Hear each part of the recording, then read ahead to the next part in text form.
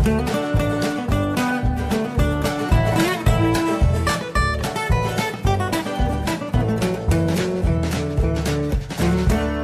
und herzlich willkommen zu Jörn Schars feinem Podcast Episode 456. Ich bin Jörn Schaar und ihr seid es nicht. In Schleswig-Holstein läuft die Urlaubssaison an. Das merkt man, wenn man in einer Touri-Region wohnt. Erstmal jetzt aktuell bei uns rund um Eckernförde. Da ist immer Stau. Die Stadt ist wahnsinnig voll mit Leuten. Es wird wahrscheinlich ja auch noch schlimmer werden. Dann merke ich es natürlich auch in Kiel wenn ich in mein Büro fahre, da ist das Parkhaus direkt neben dem Funkhaus. Das war, habe ich noch nie besetzt erlebt. Das war jetzt dann vergangene Woche das erste Mal so, äh, dass ich dann nochmal 500 Meter weiterfahren musste zum nächsten Parkhaus. Frechheit. Man merkt, es sind einfach viele Crewmitglieder und auch Passagiere in der Stadt. Wahnsinnig viele Nervbratzen auf der Straße. Also boah, im Sommer bei gutem Wetter möchte manchmal Leute anhalten und sie sehr freundlich fragen, wann sie das letzte Mal über Verkehrsregeln nachgedacht haben. Mein lieber Scholli. Naja, also heißt aber für mich, dass ich, wenn ich ausschließlich nach Kiel fahre, ich dann eher jetzt auf den Zug setze als aufs Auto. Äh, einfach deswegen, weil mich Autofahren in Kiel mit den ganzen Touris nervt, weil das Parkhaus auch nochmal die Preise offensichtlich angehoben hat. Ich habe jetzt irgendwie, es ist absurd, was die gerade wollen.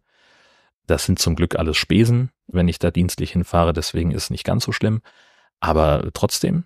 Und dann ist halt auf der Rückfahrt immer Stau vor Eckernförde.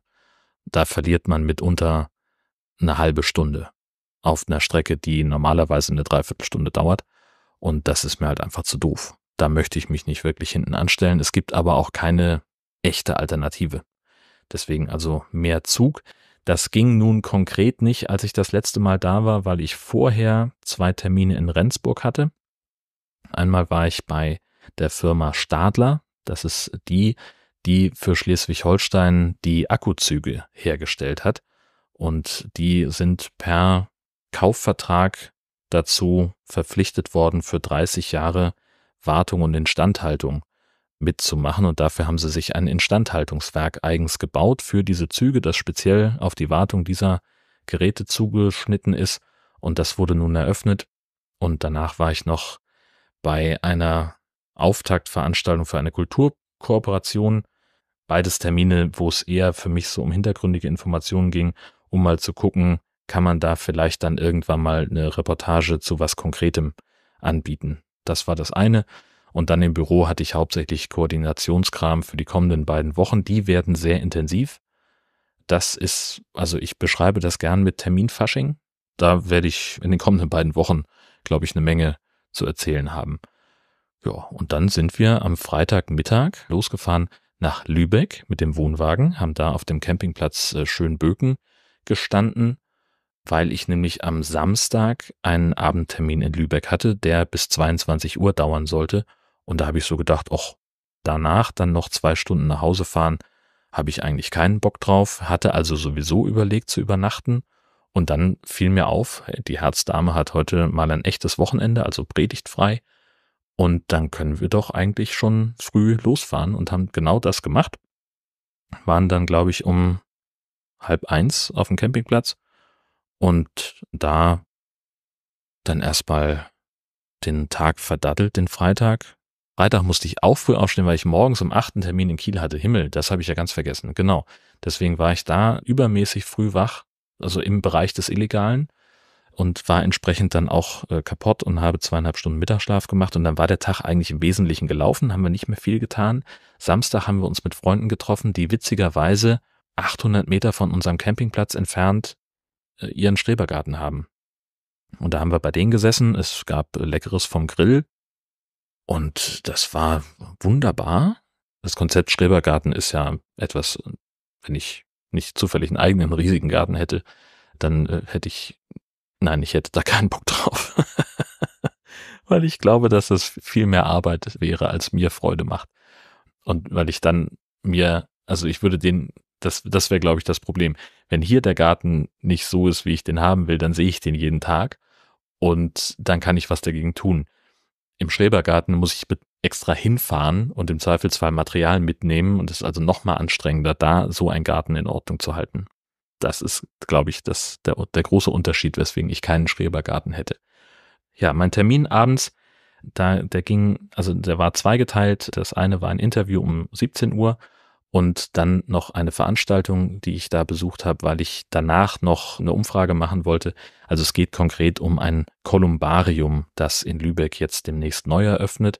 Ja, letztlich ein Friedhof, aber nur für Urnen und kein klassischer Friedhof, sondern in einem Haus. Und zwar in einem ehemaligen Kornspeicher, erbaut vom Vater von Thomas Mann, als einer von sieben insgesamt, die sie hatten. Und Vater, Großvater, ich weiß es nicht mehr. Das ist auf jeden Fall der letzte erhaltene. Die anderen sind alle im Krieg zerstört worden oder wurden später abgerissen.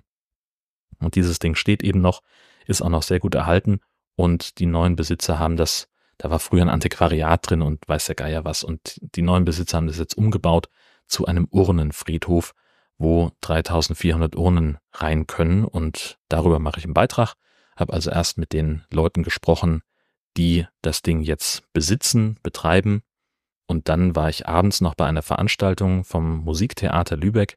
Letzte Lieder heißt das, zufällig die Daniere gesehen, weil ich gedacht habe, ich möchte gerne auch mit so, so Straßenumfragemäßig Leute haben, die was über das Haus sagen. Dann wäre die eine Variante, auf der Straße Leute anzusprechen und Glück zu haben, dass die was darüber wissen, oder zu einer Trauerfeier zu gehen. Letzteres erschien mir komplett ausgeschlossen und das erste war mir, das war mir zu, zu riskant, äh, weil das einfach viel zu lange wahrscheinlich gedauert hätte. Insofern bin ich also zu dieser Veranstaltung gegangen, weil ich wusste, dann sind da ungefähr 80 Leute, da werde ich wohl jemanden finden. Das hat auch super funktioniert, die Leute haben schlaue Sachen gesagt, äh, das war alles in Ordnung. Die Veranstaltung war auch sehr schön. Ich fremdle immer so ein bisschen mit Musiktheater aber, äh, und ähm, das fing auch sehr abstrakt an und wurde dann aber sehr, sehr krass. Der Autor des Stücks hat mit Leuten sich unterhalten, die im Hospiz sind, über Lebenslieder, also welche Musik zu ihrem Leben gehört. Und hat also aus den Gesprächen und aus dem, was die gesagt haben, dann diese Aufführung gemacht. Sehr, sehr krasse Texte, sind ja alles Zitate von Leuten, die im Hospiz waren. Und dann eben auch dazu passend die Musik und das geht einem natürlich dann sehr, sehr nah. Also da ist dann, keine Ahnung, du hörst halt erstmal das Zitat von jemandem, der einen wahnsinnigen Liebesschwur auf seine Frau äh, ausspricht. Im jeden dritten Satz sagt das da, sie darf aber nie was von diesem Interview erfahren. Und dann erzählt er, wie wichtig dieses spezielle Lied für sie beide war und wie toll das war, wie toll sie das auch immer singen konnte und wie, wie großartig das war. Und dann spielen sie halt dieses Lied. Also jeder, der da im Raum nicht geheult hat, der hat kein Herz. Punkt. Also das ist einfach so. Genau, ich hatte zwischen dem Interview und der Veranstaltung noch Zeit für eine Portion Fisch und Chips. Es gibt ein Fischrestaurant, das heißt Fangfrisch und die haben direkt an der Trave so eine kleine Bude, wo es irgendwie drei, vier Sorten Fischbrötchen und eben Fisch und Chips gibt. Und ich hatte genug Hunger, um mich für Fisch und Chips zu entscheiden. Es wäre wahrscheinlich auch mit einem Bratheringbbrötchen gegangen denn am Ende waren die Pommes dann doch ein bisschen arg salzig. So die letzten paar habe ich dann tatsächlich auch nicht mehr gegessen, weil mir das zu viel war. Aber insgesamt war das einfach sehr schön, da an der Trave zu sitzen. Und das war eine schöne Atmosphäre. Da saßen irgendwie einige hundert Leute, da lief ein bisschen Musik und die Sonne schien und es war einfach eine fantastische Atmosphäre da. Was nicht so fantastisch ist, ich höre im Augenblick relativ wenig Podcast weil meine äh, Noise-Canceling-Kopfhörer jetzt wirklich am Ende sind, dann aber dann doch wieder nicht. Also wir erinnern uns an die Episoden 289 und 379, in denen ich davon erzählt habe, dass ich diese Kopfhörer repariert habe. Die Schwachstelle an den Dingern sind diese Ohrpolster, die so einen Kunstlederkram haben und das äh, scheuert sich halt irgendwann durch. Diese Polster kann man eben neu kaufen die sind auch gar nicht so wahnsinnig teuer, das ist alles kein Problem. Und dann kann man die da so reinklipsen. Und es taucht dann ein neues Problem auf mit der Zeit, nämlich die Halterung in dem Plastik. Die scheint verschlissen zu sein oder irgendwas. Oder vielleicht ist auch was abgebrochen. Keine Ahnung. Auf jeden Fall halten diese Ohrpolster jetzt nicht mehr. Das ärgert mich enorm, weil die aktuellen Ohrpolster habe ich ja vor noch nicht mal 100 Episoden dort angebaut. Das heißt, die sind also immer noch top. Das ist alles prima. Die Kopfhörer sind auch technisch fantastisch, weiterhin. Ich mag den Tragekomfort, ich mag die Qualität des Noise Cancellings, Telefonqualität ist super, der Sound ist richtig gut. Es ist überhaupt keine Frage, dass die Dinger immer noch top in Ordnung sind. Das Problem ist einfach nur, diese scheiß Ohrpolster halten nicht mehr. Das ist beim Hören nicht so sehr das Problem, weil man halt einfach die so ranfummeln und dann klemmt der Kopfhörer sozusagen das Polster an den Kopf und das ist dann in Ordnung. Aber die Kopfhörer dann abzuziehen und sie um den Hals oder noch schlimmer in der Hand zu tragen, heißt halt immer, die Ohrpolster fallen ab. Und dann liegen sie entweder im Dreck oder man muss sie irgendwie noch so auf den Finger aufspießen und sie mitnehmen und das ist immer unpraktisch. Was mich enorm nervt. Und das führt dazu, dass ich eben weniger die Kopfhörer aufhabe, weil ich ständig irgendwie damit so rumfummeln muss und manchmal habe ich da einfach keine Lust zu. Und ich werde mich, das habe ich letztes Mal schon gesagt, in der 379, es widerstrebt mir einfach, technisch einwandfreie Geräte wegzuschmeißen, obwohl es nicht notwendig wäre, nur wegen so einem Plastikscheiß. Das ist wirklich richtig blöd und nervig und das bedeutet aber auch, dass ich jetzt so langsam mal anfange. Ich habe da immer noch eine Vorschlagsliste aus irgendeiner alten Episode, wo mir Leute als Feedback, ich glaube damals noch bei Twitter, Alternativen vorgeschlagen haben. Die gucke ich mir mal an. Ich werde mir jetzt halt nach und nach neue Kopfhörer angucken müssen, weil ich halt einfach sage, das ist unpraktisch wie Sau und muss dann in den sauren Apfel beißen und sagen, dann kaufe ich mir jetzt halt neue. Und ich habe auch das schon mal gesagt, die haben ihren Dienst eigentlich getan. So, die habe ich schon gebraucht bekommen und ich habe sie jetzt ja schon seit mehreren Jahren im Einsatz und das ist auch alles total fein. Ich habe die, glaube ich, jetzt so nachhaltig benutzt, wie man sie benutzen kann, aber ich würde sie eigentlich gerne erst dann wegschmeißen müssen, wenn die auch technisch durch sind. Und das sind sie halt gerade nicht. Oh, was ich eben noch, was, was ich noch erzählen wollte, ich habe diese Woche digitale Parkleitsysteme kennengelernt. Und zwar eines gibt's in Kiel. Äh, die haben eine städtische Datenplattform. Supergeil. Verlinke ich euch. Das ist nichts, was man jetzt irgendwie leicht mobil aufrufen kann. Das ist, funktioniert am besten, glaube ich, auf dem Desktop, weil das, das ist eine Straßenkarte von Kiel, wo man reinzoomen kann und dann kann man eben sehen, in welchen Straßen noch Parkplätze frei sind. So dieses Straßenparken. Hm, längst noch nicht alles erfasst, man muss da spezielle Sensoren verbauen und dann kann man das aber in Echtzeit sehen und man kann eben auch in Echtzeit sehen, wo sich die Busse des ÖPNV längs bewegen. Man kann auch sehen, wo Behindertenparkplätze frei sind, wo Ladestationen frei sind. Man kann sehen, wo Fahrradparkhäuser sind, wo Fahrradreparaturstätten, so Anlagen sind. Ne? Das sind diese, wo man sein Fahrrad so an den Haken hängen kann und dann sind da irgendwelche Werkzeuge mit zum Draht festgebunden, aber dann kann man irgendwie eine Schraube nachziehen und weiß der Geier was. Ähm, das steht da alles drin. Und das finde ich total großartig. Es fehlt noch, finde ich, was man da noch dazu machen kann, ist die Belegung von Parkhäusern, die natürlich nicht von der Stadt bewirtschaftet werden. Ich würde es total geil finden, wenn die Stadt eigene Parkhäuser bewirtschaften und dann da, sagen wir mal, am Stadtrand, ja. Wir könnten jetzt zum Beispiel sagen, dieses neue Möbelhaus, Möbelhöfner oder was das da ist, und, und das pleitegegangene Billo-Möbelkaufhaus, wo jetzt dieser Fahrradmarkt rein soll, das wieder wegreißen, weil es eh Quatsch ist. Das wollte nie jemand und da ist auch kaum Kundschaft da dann ein richtig großes Parkhaus reinmachen mit, was weiß ich, sieben, acht, neuntausend Parkplätzen drin, die super günstig bis kostenlos sind und dann auf den Vorplatz ein Mobilitätshub mit Busanbindung, perspektivisch der Stadtbahn und so weiter und so fort. Das wäre radikales, geiles Konzept und das könnte man dann eben auch in dieser Datenplattform abbilden. Und was eben auch da in der bestehenden Plattform noch nicht zu sehen ist, sind die Stationen der Sprottenflotte. Was, das finde ich richtig bescheuert. Ja? Also diese Mietfahrräder, das ist ja eine Aktion von der Stadt, die zwar über einen externen Dienstleister laufen, aber meine Güte, bindet das doch ein, macht das doch möglich. Dass man sehen kann, wo ist so eine Mietstation, wie viele Fahrräder stehen da, wie viel Akku haben die Pedelecs, die da noch stehen und, und, und. Das könnte man da alles schön reinbauen, finde ich. Und ein bisschen abgespeckte Version davon gibt's für Rendsburg und für Eckernförde. Die haben auf den großen öffentlichen städtischen Parkflächen Sensoren verbaut. Das sind in Eckernförde, glaube ich, vier, wo man dann eben sehen kann, ne, der, der große zentrale Innenstadtparkplatz sind dann noch Plätze frei. oder sogar der noch zentralere, etwas kleinere Parkplatz, kann man da noch was werden?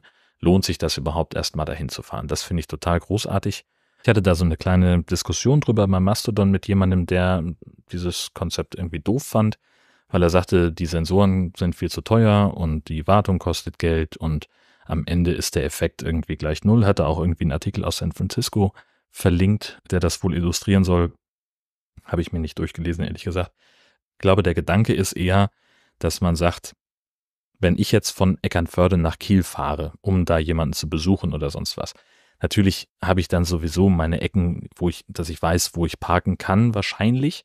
Wenn ich aber vorher gucken kann, kann ich da parken, dann fahre ich vielleicht die Straße überhaupt gar nicht erst an, die ich meine, weil ich schon sehen kann in dieser Datenportalkiste, das lohnt sich nicht. Also fahre ich direkt eine andere Straße an, wo ich sehe, okay, zum jetzigen Zeitpunkt sind dann noch zehn Parkplätze frei, die Chance, dass ich da was kriege, ist deutlich höher.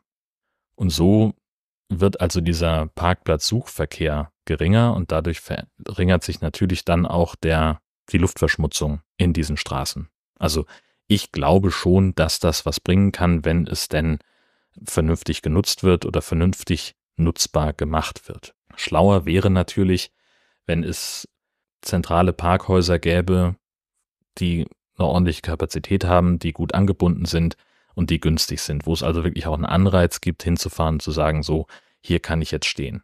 Und natürlich am Ende muss immer das Ziel sein, Autos in der Stadt zu vermeiden. Das ist aber etwas wie die Diskussion ums Tempolimit, das wird einfach nicht gehen wenn sogar Leute, die in Kiel wohnen, darauf bestehen, dass sie ein Auto brauchen, weil der öffentliche Personennahverkehr in Kiel mit Busse alle 20 Minuten ihnen nicht genug ist, ja, meine Güte, dann ändert sich da halt auch nichts. Und dann kommen eben dazu die Leute, die in Kiel wohnen und aber nicht in Kiel arbeiten, sondern es gibt ja auch Leute, die rauspendeln, nicht nur welche, die reinpendeln müssen. Klar hätte ich versuchen können, meine äh, dienstlichen Termine am Donnerstag alle mit dem ÖPNV zu machen. Nur die Fahrt von Riesebühl nach Rendsburg zum Bahnhof, dann bin ich noch nicht bei meinen Terminen, dauert halt einfach mal doppelt so lange, mehr als doppelt so lange im Vergleich zum Auto. Und dann muss ich ja auch noch da von A nach B kommen. Da lagen die einfach zu dicht beieinander, das hätte ich nicht mit einem Bus geschafft. Solche Konstellationen gibt's natürlich auch in Kiel und man muss auch ganz viele andere Sachen noch berücksichtigen. Ganz vermeiden lässt sich Autoverkehr in der Großstadt halt nicht, das ist so. Man kann aber theoretisch was dafür tun, dass er ein bisschen effizienter wird. Und ich glaube, dass dieses Parkleitsystem, diese, dieses Datenportal dazu beitragen kann. Die neue Episode vom Podjournal ist gestern erschienen. Da habe ich mich gleich zweimal verhauen. Das war ein bisschen doof. Zum einen habe ich den Herrn Oberhummer, die, dem habe ich die falsche Nationalität zugeschrieben. Und dann auch noch bei einer Podcast-Veranstaltung, die eigentlich Castcon heißt, habe ich Podcon gesagt. Ja, das ist, ist doof. Kommt vor, passiert. Äh, das passiert vor allem dann, wenn ich zu viel dienstlichen Kram habe und der private Kram irgendwie so mitlaufen muss. Und dann denken wir bitte alle dran, nächste Woche, diese Episode erscheint am 2. Juni, am 2.6. In einer Woche am 9.6. ist Europawahl die ist viel wichtiger, als man denkt. Vor allem dann, wenn man das aktuelle Programm von äh, Nico Semsrott gesehen hat, der in einem satirischen Programm seine fünf Jahre im EU-Parlament Revue passieren lässt. Und das ist ein bisschen, ja, wollen wir mal sagen, deprimierend. Er spricht da von Machtmissbrauch, er spricht davon zu wenig Kontrolle über Steuergeld und von ganz vielen anderen Sachen, die sehr, sehr deprimierend sind. Er sagt aber auch, das ist eine fantastische Kompromissmaschine, die wir brauchen. Also sein eigenes Hadern damit soll nicht dazu führen, dass wir jetzt nicht wählen gehen. Das ist immer noch sehr, sehr gut, was wir da haben mit der EU und das ist was weltweit Einmaliges, äh, dass sich so unterschiedliche Staaten so zusammentun, um füreinander coole Sachen zu machen, miteinander coole Sachen zu machen guckt euch mal ruhig ein bisschen um, wenn ihr euch nicht sicher seid, ob man die EU braucht und ob man da jemanden hinwählen sollte. Guckt euch mal in der eigenen Stadt um, wo überall auf irgendwelchen Sachen, Neubauten, Projekten oder oder oder dran steht, gefördert mit Mitteln der EU. Das ist eine ganze Menge, was aus Brüssel auch zu uns zurückkommt. Und lasst euch nicht einlullen von irgendwelchen äh, vermeintlichen Patrioten, die sagen, EU kostet uns nur Geld und bringt uns nichts. Das ist so, als würde man sagen, was haben die Römer jemals für uns getan? Deswegen mitmachen bei dieser Wahl ist wichtig. Die Nazis werden auf jeden Fall mitmachen und werden versuchen, ihre Leute da reinzuwählen und damit es eine europafeindliche Agenda dann dort gibt. Die treten an, um Europa von innen heraus zu zerstören und sie tun das, das haben wir bei der AfD gesehen, im Auftrag von China und Russland. Das sollten wir, soweit es eben geht, verhindern, dadurch, dass wir demokratische Parteien wählen. Das ist wichtig. Macht es bitte. Macht es am kommenden Sonntag und wenn ihr keine Zeit habt, dann könnt ihr jetzt immer noch Briefwahl beantragen und ihr könnt jetzt immer noch in eure Gemeindeverwaltung, in euer Rathaus gehen und sagen, ich möchte jetzt bitte wählen und da steht eine Urne bereit, an der man jetzt schon eine ganz normale Wahl machen kann, die dann als Briefwahl gezählt wird. Abgesehen davon bin ich der Meinung, dass alle, die sich nicht aktiv gegen das Erstarken des Rechtsextremismus in Deutschland einsetzen, von ihren politischen Ämtern zurücktreten sollten. Bis sie das tun oder bis eine weitere Folge erscheint von Jörn Schaas für einen Podcast. Alles Gute.